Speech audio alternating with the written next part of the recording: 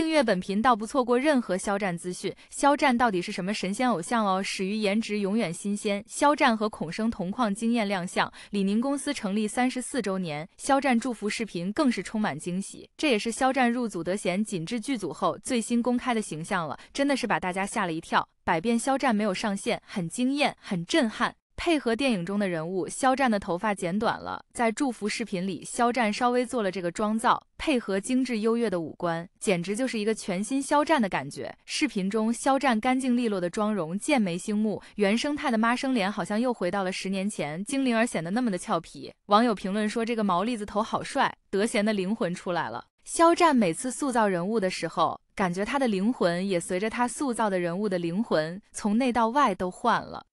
这次的肖战真的又正又帅又嫩又可爱，换个发型跟换个人似的。肖战的可塑性真的是绝了，的确，寸头肖战、琴头肖战、狼尾肖战、马尾肖战等等，什么样的肖战都很惊艳。不同于有的艺人特别吃妆造，演了很多部作品，几乎都是一个造型。肖战每部剧都不一样，这张脸就是注定吃演员这碗饭的脸。还有的网友说，肖战每拍一部戏后出来见面，都是让人眼前一亮，光芒四射的感觉，脱胎换骨的感觉，千面肖战，面面精彩。肖战真的永远不会让你视觉疲劳，肠粉肠心，神仙偶像。有美容博主评论肖战的五官，说肖战的五官个个都是地标大厦式的存在，肖战是三百六十无死角的大帅哥。